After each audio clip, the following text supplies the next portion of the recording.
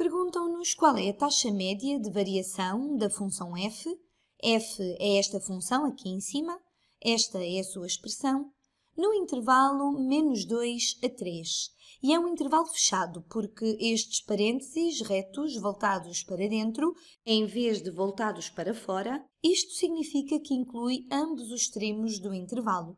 Façam pausa no vídeo e vejam se conseguem fazer. Muito bem, agora vamos fazer isto juntos.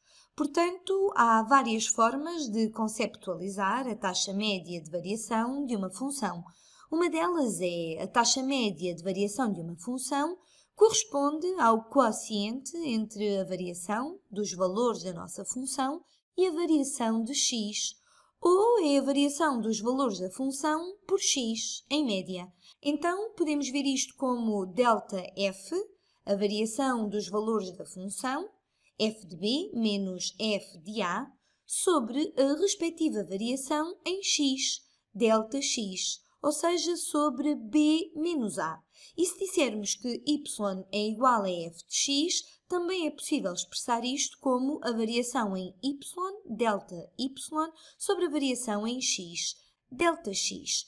Isto indica-nos, em média, quanto é que a função variou em cada intervalo unitário. Também é possível fazer isto com uma tabela ou ainda visualmente com uma representação gráfica, mas para já vamos fazer isto com uma tabela e então depois logo tentaremos fazer a sua representação gráfica. Então aqui temos x e aqui temos y é igual a f de x.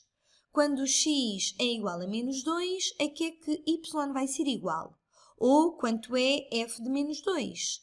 Bem, vamos ver y é igual a f de menos 2, que vai ser igual a menos 8, que corresponde a menos 2 ao cubo, menos 4 vezes menos 2. E menos 4 vezes menos 2 é mais 8. Então temos menos 8 mais 8. Isso é igual a zero. E depois, quando x é igual a 3, estou a usar o outro extremo do intervalo. Bem, agora y é igual a f de 3, que é igual a 27, de 3 ao cubo, menos 4 vezes 3, que é menos 12. Isto tudo é igual, é igual a 15. Sendo assim, qual é a nossa variação em y sobre a nossa variação em x ao longo deste intervalo? Bem, o nosso valor de y passou de 0 a 15, por isso temos um aumento de 15 unidades em y. E qual é que foi a nossa variação em x? Bem, x variou de menos 2 a 3, por isso tivemos uma variação de 5 unidades em x. Então, a nossa variação em x é mais 5. E sendo assim, a taxa média de variação de y em relação a x, ao intervalo de x considerado, ou a taxa média de variação da nossa função em relação a x, neste intervalo, vai ser igual a 3.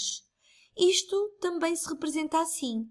TMV, de taxa média de variação, no intervalo de menos 2 a 3. E escrevemos assim. E neste caso, isto é igual a 3, foi isso que calculamos. Se quisermos pensar nisto visualmente, posso tentar esboçar a representação gráfica correspondente. Então, este é o eixo do x, o eixo dos y em x igual a menos 2, f de x é zero e em seguida a função vai para cima e depois volta para baixo e depois faz algo como isto, faz algo como isto e aqui antes de menos 2 também falta desenhar. Agora vamos ver o intervalo que nos interessa. Quando vamos de menos 2 a 3, então isto aqui é x igual a menos 2 e aqui x é igual a 3. E assim o que nós queremos fazer é, no extremo inferior do intervalo, f de menos 2 é igual a zero. Então estamos neste ponto, aqui. Vou fazer com uma nova cor. Aqui mesmo, estamos aqui. E no extremo superior do intervalo, a nossa função, f de 3 é 15, por isso estamos aqui em cima. E então, quando pensamos na taxa média de variação neste intervalo, isso representa o declive do segmento de reta que liga estes dois pontos. E agora trata-se apenas de calcular a nossa variação em y, delta y, que corresponde a isto, ou seja, y2 menos y1, que é a mesma coisa que f de b menos f de a, é a nossa variação em y. Temos que o valor da nossa função aumentou 15 unidades, ΔY igual a 15, sobre a nossa variação em x. Portanto, isto aqui é a nossa variação em x. Vemos que passou de menos 2 para 3, então vai ser ΔX igual a 5. Então, é isto que estamos a fazer quando estamos a pensar em taxa média de variação de uma função.